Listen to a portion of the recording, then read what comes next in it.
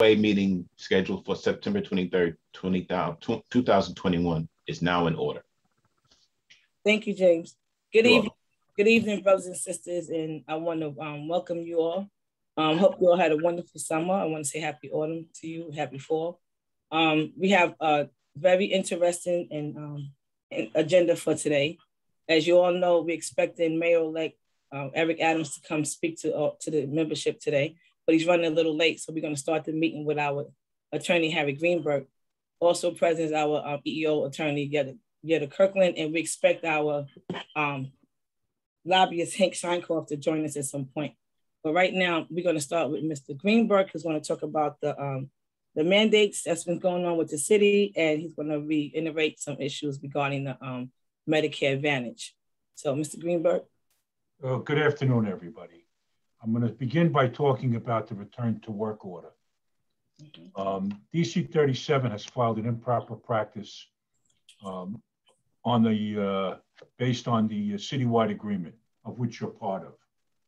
They, they've done a very effective uh, uh, site, uh, IP improper practice, and all we have to do is file an, an, uh, uh, an, inter, an intervener status, but I have to get in each facility what's wrong, what's not being cleaned, what's not being protected, what's not, you know, like the, the plastic, the, the, the meeting with the, uh, the probationers, everything that's wrong with the health and safety. And then I'm going to need people who have found this. I'll prepare affidavits based on the information they give them. I put those together with the intervener papers, and we'll be part of that. So, and I need it sooner rather than later. It's very important. That's why I said that first. So, whoever is in charge of each facility, each delegate or, or, or officer, you need to get that done for me. DC 37 visited over 200 sites, and they have plenty. I don't want to be left out at the gate. They've already said that we can uh, uh, attach to their uh, action, and, and that's exactly what I think we should do. Now, I'm not saying the Department of Probation isn't trying to do things. In fact, they probably are, but they're not getting there. It's not happening. And that's part of the problem. So this, this could help us get there and keep our members' health and safety as much as possible. That's the first thing.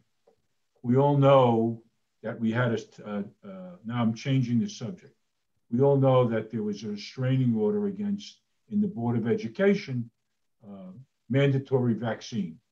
They have, if you go into a school, as of this Monday, you had to be vaccinated. The MLC, you and other unions filed an Article 78 with by order to show cause and asked for a restraining order. And on the 14th, a judge signed that. On the 15th, we had an informal conference. And on the 22nd, yesterday, we had the, the official hearing on it.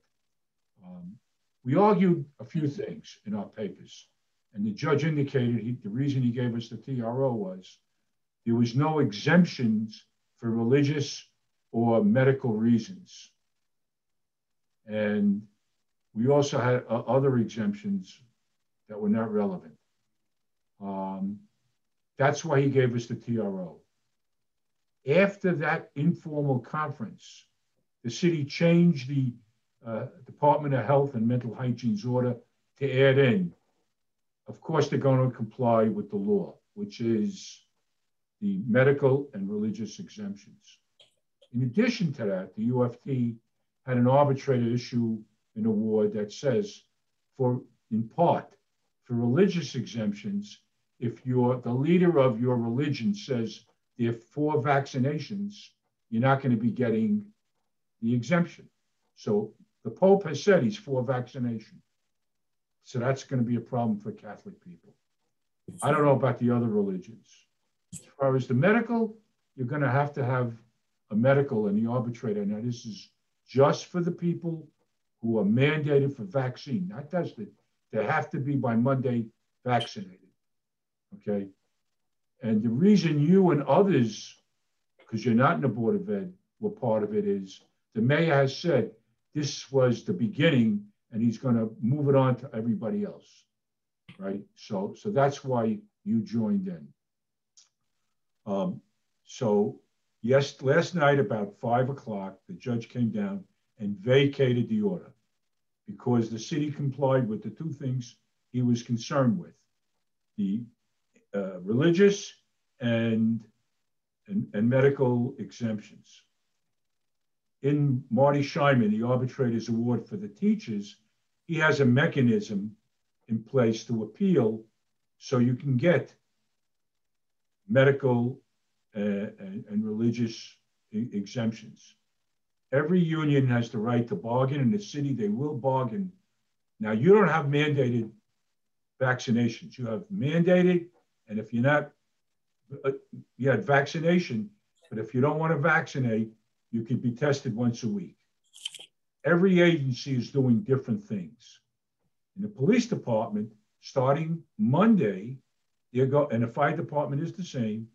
Starting Monday, you have to be vaccinated, and if you're not vaccinated, you have to take a, uh, uh, you have to be get the test, and it could be the regular test, or they're going to be giving out kits to do it yourself. It'll be collected, and that'll be satisfactory. And you do it on their time, on, in their facility. Probation said they're going to give you an hour to, to do that test if you don't want to be vaccinated. And uh, if you need more time, depending on the circumstances, you can get more time. And that that's where things are at. The city has said already they're willing to bargain over these procedures, which we're going to do. This is going to be very fluid because tomorrow we're going to be submitting more to the judge on the mandating of the vaccine for the Board of Ed. And by noon, by one o'clock, the city has to respond. And then the judge by Monday or Tuesday will come down with his order on the temporary restraining order. Whatever that is, we're going forward with a preliminary injunction demand. So, so that's where those things are at. So here's the deal. If you're going to be vaccinated, you tell the department, I'm vaccinated. They'll, they may ask you for proof, but that hasn't come up yet. If you're not, and you don't want to be vaccinated, you'll take the test. And, and that's it. If you don't do either, I don't know about probation, but the police department is going to send you home and not pay you. Now, I will tell you that in some places there are 82% compliance with vaccinations, and in other places it's down to 42. I don't know what it is in probation, but you don't want to get caught up in the middle of this fight that we're going to have and not be not get paid. Plain and simple. And you can't take time off, right? Except in, in the Board of Education, you could take a year's leave without pay. But there's a problem there, although they said they're going to keep you on health insurance. Now, if it comes to a point where you refuse to do either, and and it's not going to be right away, they can separate you and, and terminate you. That's going to be another fight, but we're not there yet. Okay. So while I say this is fluid, I don't have all the answers because we're going to have to sit down with them and work out the procedure, which we're going to do as fast as possible because everybody's at issue there. So that's with the vaccination. Uh, the other thing I want to tell you is um, the uh, on the uh, Medicare Advantage, Aetna sued the city and of the alliance, saying that the bid process was an error, and uh, we're working with the city to answer that. But everything is going forward as if there's there's no restraint by a court or anything. That's the report I have, and uh, if you, okay. I, I won't take questions now. If you could send the questions to the UPOA, we'll get them answered. I, okay. I don't want to uh, get bogged down before Eric Adams starts to speak. And Thank I want to leave time for Yetta to say a few words. Thank you. Thank you, Harry. So I think, is he in yet? D'Angelo Charlene? It's connecting to audio. Yes. He's in. He's in. Thank you, Harry. Any anybody has any questions pertaining to what Harry just spoke about? Um, I suggest that you go to unitedprobation at gmail.com and post your questions, and then we'll get back to you because I'm always make sure that we respond to you. If I don't have the answers, I'll refer it to Harry and I'll get it answers back to you at a later date within the end of this by the top of next week. So is Mr. Adams in? Yes, I am. How are you doing? I'm fine, sir, and yourself. Good, good. Good to see all of you. Good. Yeah, I want to I want to um thank you for coming back around again. Um, this is your second bout with us, but this is before when you met us, you was at a contemplation stage, and now you're at the point where you're our, our mayor elect, and I want to say thank you for once again for joining us. So we have on with us now is our mayor elect Eric Adams, who's going to speak to the members about some of the issues that we have. So without further ado, I know you you have a schedule. Um, you want to get started? Is it okay? Hello? He's muted. Tanja, unmute him, please. Okay. Thank you. Thank you very much. Okay, so what can I, I'm gonna start with the first question. Um, criminal justice reform. Since we are the alternative to incarceration, agents of change, and community supervision, how can the members of the United Probation Officers Association help you? We know that we know true criminal justice reform is one of your top priorities, and we want to help you be successful in that regard, while saving the city, while saving the city money. As you, as we believe we are the part of the solution, how do you plan to incorporate probation officers in your plan? Will we be invited to sit? Will we be invited to sit at the table to be a part of these discussions? Well, uh, you know, you know, we hear the saying all the time: people closer to the problem, they are closest to the solution. And what I have done with all of my professional agencies, both uh, outside of law enforcement in general, but specifically law enforcement, is to uh, not treat you in an insulting way by coming to you and dictating to you what you're going to do. I, I want just the opposite. We're at the transition stage. We're putting together together our transition team, and I want members from your union and from your organization uh, to be uh, on that transition team. Uh, He's muted. Tanja. Eric, you're muted. Yeah, it keeps going on and off, on and off. I'm on the highway, so if I lose you, I'll just wait until we clear up. Okay. Uh, but I, I would love uh, for you uh, to come forward uh, with your what your observations have been. What do you believe uh, we should be doing uh, in the next few years, and how do we turn around uh, our uh, uh, city and law enforcement, what we do in probation, etc. So the answers uh, are, are important. I think they must come from you to be fed into my overall uh, plan, and that's across the board on all of my uh, agencies. This is my ask of you. Uh, how do we get this right? Okay, thank you. Before I go to the next question, I just want to let the members know I had opened up. Um, I asked all of them to send us questions to ask you before we even came to you with the questions. And I just want to let everybody know on this Zoom that the questions I'm talking, I'm, I'm, I'm presenting to Mr. Adams are the most asked questions. Some of the questions were not related to this conversation that we're having now. Some of those questions were redirected to other resource, other avenues. And some of them, if, if some of them just didn't fit in with this conversation. So I'm going to go into the next one. All right. Salaries, pinch, and pension reform. We require a college education. We are predominantly women of color, yet our salaries are not in parity with other law enforcement officers. We can serve as many as 40 years plus in years in our careers, yet we never reach our top salaries. We have been pen, we have a pending EEO case in hopes to resolve this matter. For us, for a small agency, we have a high turnaround. Our turnaround is very high. What is your plan to resolve this issue? Before you answer the um, question, Mr. Adams, I want you to also know that our EEO attorney, Yetta Kirkland, is also present. at this um on the Zoom. Good to see you, Eric. Good to see you.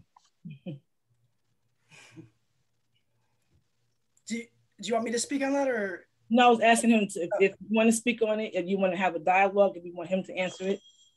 Yeah, I would. I would love to hear uh, your thoughts because uh, you know when we when it comes down to salaries, when it comes down to a change in benefits, uh, all of those things are open to uh, union contractual negotiations. But my goal when I look at these agencies, not only yours, but also uh, other agencies uh, where you see predominantly women and women of color, uh, there seem to be pay inequities. And we want to zero in on that. How do we start moving us in a place where all of our uh, city workers are paid in an equitable fashion? And you are law enforcement, you know, you should be treated as such uh, everything from being able to process arrests and so many different areas. So I really want to hear from you, and that's going to be part of uh, to be part of the whole process and conversation. Okay. Also on the on the Zoom, Mr. Adams is our um, labor lawyer Harry Greenberg, who negotiates our contract as well. Thank you for that. Yetta, you want to chime in on the EO? I mean, I, I just um I think that Eric Adams has a long history of being on the right side of these issues. I think we can speak in general terms right now, um, specific to your specific claims. That's for another time and place. I think what he is saying, and I certainly won't speak for him, but he can chime in on this. There was a there's a recent report done by City Council. This has been an endemic problem when we talk about segregated workforces within the city of New York, and the city of New York is an employer of I think it's th- over 300,000 employees. And so this has been a long-standing problem with ensuring that there isn't pay disparity within those uh, positions and titles and agencies. I have no doubt, I've already heard from the Adams administration that that is a central focus for them, and I'm sure that they'll be focused on that um, it's just a concern uh, when we look at the way payment happens, and it, I think it takes the intentionality that hopefully the this administration will have. So I think there's a time and place to talk about the details of it. But I think what he's all I'm also hearing from Eric is that he wants to hear from you and from your members and your leadership on how to kind of figure that out and, and go through that process and do it better uh, with with kind of a new administration. Okay, thank you, thank you for that. So now we asked you what you need it from us, and naturally we gotta always excuse. Um, I'm sorry about that. Um, and now the next question is: we have a list of things that we need. Um, if you don't mind, I'll just present them to you. If um, you can't address them now, we understand that it can be talked about at a later date. But I just want to give you the most common needs that my members have presented to me, and from my observation and from my experience as a probation officer and supervisor. Um, what we need in order for you to be successful, we will need more probation officers. We need better, safer working conditions and locations. We need safer and better cars. Our cars, we have like Prius and I don't know what the other cars are, but we need like SUVs to carry the um the people that we have in custody in our care in custody from one place to another. Um, we need continued training and we need tax IDs to process arrests. For some reason, we don't have tax IDs and when my members make arrests, they're not getting the credit for it, and I don't understand why. So we've been working on that. And we need a commissioner and administration that who is willing to work with us and give us the respect that we deserve. Um, it's concerning because the disrespect and the disregard we have experienced these past years makes us wonder if we had not been predominantly women and people of color, would we have been treated differently? So those are our, our concerns and our needs that we wanted to present to you and that's so important. And we want to make sure that you have the equipment to do your job. And that is the goal that we're going to push to make sure you have the proper equipment. You can't have dilapidated equipment and you can't have an unsafe environment. And we're going to focus on that. Okay, thank you. I um and I wanted to, so I, if I think that concludes our questions, but I just want you to know that um, we have been with you from the beginning. Like I said before, you even made your announcement that you was running for mayor, and we're going to be with you to the get you across the border to the other side of the water, as Ms. Ingrid has said to me one day. And um, we're looking forward to working with you. We've been Team Eric from the beginning, and we're going to be Team Eric to the end. And we want to thank you No, all the way. You see my sign back there, right? So um, we're gonna be with you all the way through. And I do, and my team looks forward to speaking to you at a later date and to expand on some of these issues. And once once all this is said and done. Thank you very much. And I thank you for seeing us and hearing us. Okay, take care. Take care and be safe. Bye bye. Okay, so that was good. I think that was good that he came back for the second time. He met with the executive board one time before that. Uh, Mr. Greenberg has made his presentation. Yet has yet anything going on with the EO case right now? It's pending in federal court. Um, the district judge is um, considering a motion for dismissal that the city brought, a, a, a summary judgment motion for dismissal. Um, it's been fully submitted for several months. Um, we'll see what happens with that. Um, once we get that decision, then there'll be a case management plan that's set so that we have a scheduled time for when discovery happens. Um, and because it is a employment matter, um, part of the Southern District's protocols is that it's set down for mandatory mediation. And so we'll have a chance to sit down to try to see if we can settle the matter. Uh, if we can't, we'll move forward with discovery and proceed with the litigation. Okay. Um, I just want everybody to know too that yesterday we had um, we was also on it to go. Um, Senator Gounardes from District 22 in Brooklyn. He chairs the Civil Service um, Committee. Right? What is it? He's he chairs the he chairs the pension for civil service workers, and he joined us yesterday in Brooklyn, and he did a, a walkthrough with us from family court to adult court, and um, adult court to family. He hung out with us for about three hours, and he he did that because when we met with him a couple of weeks ago, and and a couple of us went to meet with him, he was astounded to hear the stories about probation, and sad to say, he too did not know what we did. So for him to get a better idea of who we are and what we do, and to support our pension, because my my intention is to to um, reintroduce the bill or have him prepare another bill for us. But he felt that in order for him to fully get a grasp of who we was, he had to come and meet us and see us. So what we did was we took him over to Brooklyn, which is the borough that he covers, and he met with um, Paul, Le- Paul Leon and, and a couple of the other um, um, um, probation officers, supervisors, union reps, um, even some of the managers. And he sat down and he talked to us and he gave us his time and he told everybody. And what I liked at the conclusion of his tour, he said to us while we was in family court that he's going to make a commitment to help us get our pension reform and try to get us the pension that we deserve. And um, and everyone feels that we're long overdue. Promises are we making? No, but I really feel that I feel good. I feel good about what's going on for us as far as our salaries. I feel good about the pension. That might take a little bit longer of a haul to get done, but I feel like this is our time. And um, I will continue to advocate and educate because I have to do both at the same time because that's still an issue for us to for people to understand who we are. I feel that we are the healing. We we are where the healing begins when it comes to this whole criminal justice, and we are the solution. And that's going to be my platform for getting us to where we need to be. Um, this wasn't going to be a um, long meeting. It's just more it, it, informative meeting. I want to congratulate the um, probation officer trainees who have now become permanent. So I want to say kudos to you all. Um, good things is happening for this union. We just got to stay focused and we just got to be patient. Like I said, some of the questions presented to us on the United Probation at Gmail was not for this platform. It was they were redirected to other um, to the appropriate um, to the appropriate people persons who can deal with those questions. Okay. So without further ado, if there's any questions or concerns that from what you heard tonight, I hope that it was to see your satisfaction, you know, if you was um, I hope that it was, you know, you guys are happy with the answer that you heard. We can't expect any true commitments because we're not there yet, but at least it was touched upon. I think that's safe. What do you think, Harry and Yetta? I think it was, I think it was sufficient. So with that said, I'm gonna tell everybody to have a good evening and you can always go to unitedprobation at gmail.com. Okay? Thank you. Thank you. Good night. Good night.